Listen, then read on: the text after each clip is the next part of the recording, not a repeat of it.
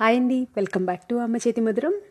ఇవాళ వీడియోలో టేస్టీగా హైదరాబాదీ స్పెషల్ చికెన్ కర్రీని తయారు చేసుకుందాము. రైస్ చపాతీ బగారా రైస్ దేంట్లోకైనా పర్ఫెక్ట్ కాంబినేషన్ ఈజీగా తయారు చేసేసుకుందాము. ఈ విధంగా చికెన్ని మ్యారినేట్ చేసుకొని మీరు కూడా ట్రై చేసి చూడండి. పర్ఫెక్ట్గా ఉంటుంది. ఎలా ప్రిపేర్ చేయాలో చూసేద్దాము. మీడియం సైజ్ పీసెస్ని హాఫ్ కేజీ వరకు తీసుకున్నాను. క్లీన్ చేసుకున్న తర్వాత పావు స్పూన్ పసుపు హాఫ్ స్పూన్ సాల్ట్ ఒక టేబుల్ స్పూన్ వరకు కారం హాఫ్ టేబుల్ స్పూన్ ధనియా పొడి యాడ్ చేసుకుంటున్నాను. పావు స్పూన్ వరకు జీరా పొడి కూడా యాడ్ చేసుకుంటున్నాను. ఒక టేబుల్ స్పూన్ గరం మసాలా ఒక టేబుల్ స్పూన్ వరకు చికెన్ మసాలా కూడా యాడ్ చేసుకుంటున్నాను. రెండున్నర టేబుల్ స్పూన్ వరకు ఫ్రెష్గా ఉన్న థిక్గా ఉన్న పెరుగు యాడ్ చేసుకుందాము.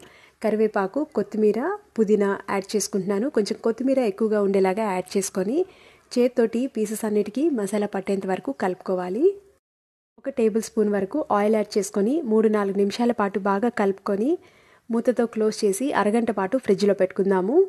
అండలు పెట్టుకొని రెండున్నర టేబుల్ స్పూన్ వరకు ఆయిల్ యాడ్ చేసి రెండు చెక్క లవంగా ఇలాచి యాడ్ చేసుకొని అర స్పూన్ వరకు జీలకర్ర కూడా యాడ్ చేసుకొని ఫ్రై చేసుకుందాము. ఇవి లైట్గా ఫ్రై అయిన తర్వాత మూడు మీడియం సైజ్ ఆనియన్ని సన్న పీసెస్గా కట్ చేసినవి యాడ్ చేసుకుంటున్నాను.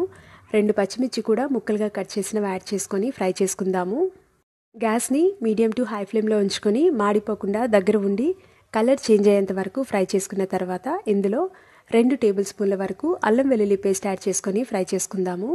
అల్లం వెల్లుల్లి పేస్ట్ పచ్చివాసన పోయేంత వరకు బాగా ఫ్రై చేసుకుంటేనే గ్రేవీ టేస్ట్ బాగుంటుందని గుర్తుంచుకోవాలి. ఇందులో ఒక చిన్న టొమాటో సన్న పీసెస్గా కట్ చేసినవి ముందుగానే అరగంట సేపు మ్యారినేట్ చేసుకున్న చికెన్ పీసెస్ కూడా యాడ్ చేసుకొని కలుపుకుందాము.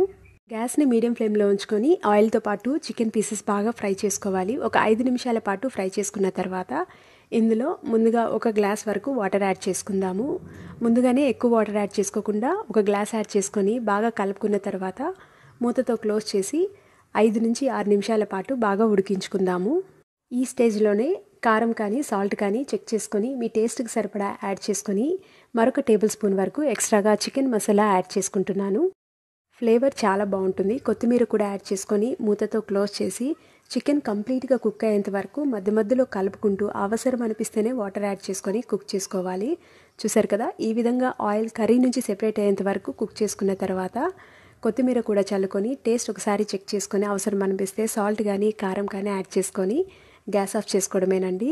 చాలా ఈజీగా తయారు చేసుకోవచ్చు. టేస్ట్ మాత్రం చాలా బాగుంటుంది.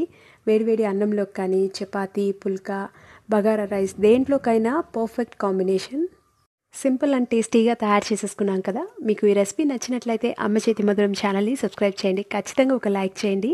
మీ ఫ్రెండ్స్తో రిలేటివ్స్తో షేర్ చేయండి. Thank you